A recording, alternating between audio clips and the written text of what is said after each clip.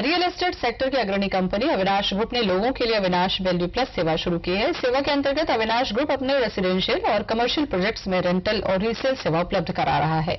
Avinash value plus सेवा की launching पर अविनाश ग्रुप के एमडी आनंद सिंघानिया ने बताया कि बहुत से लोगों को उनके प्रोजेक्ट्स पसंद तो आते हैं, लेकिन बजट के कारण वो उसमें रह नहीं पाते। लेकिन रेंटल सेवा के तहत वे लोग भी अविनाश ग्रुप से जुड़ सकेंगे।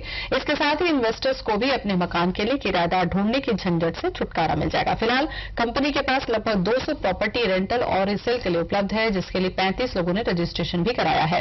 इस सेवा के लिए सिर्फ़ प्रॉपर्टी ओनर से ही फ़ीस ली जाएगी, ग्राहक से किसी भी तरह की राशि नहीं ली जाएगी।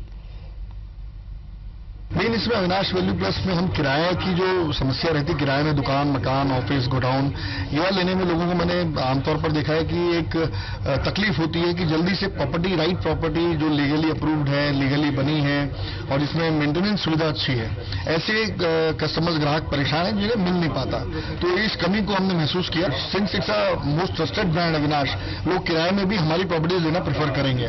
तो एक ट्रांसपेरेंट वे में ऑर्गेनाइज वे में एक अच्छा काम हो सकता है, ये हमारी सोच थी। छत्तीसगढ़ सरकार बेरोजगार